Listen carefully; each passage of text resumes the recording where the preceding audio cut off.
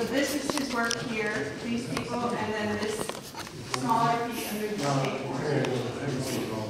These are Damon's. All right, good afternoon, everybody. My name is Damon Chamblis. I'm better. Um, this one is called The Unknown. This one is Mark and gel, marker and gel pen paper. Uh, the idea with this piece was the unknown physical and the unknown spiritual. So up here, there's like, uh, like a black ball. It kind of has like sound waves coming from it. And the, one of the figures, he kind of has like ringing in his ears from that black ball. Um, like I said, it represents the spiritual, unknown, and the physical. So it's on a pedestal representing how do I get to this unknown? How do I get up here? How do I attain my goals?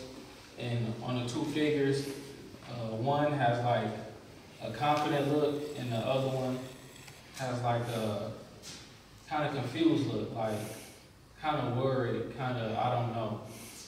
Like I said, I'm always mindful of the colors I use. So the blue brings a calming feeling, like a sky feeling. The orange in his shirt represents creativity, and for the um, the main center figure, he has like red hair.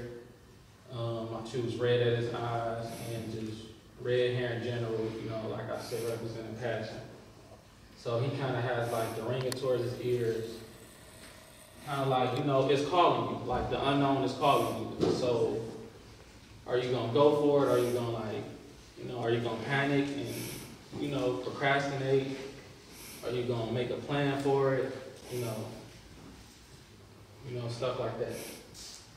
And yeah, that's it. Thank y'all. Any questions?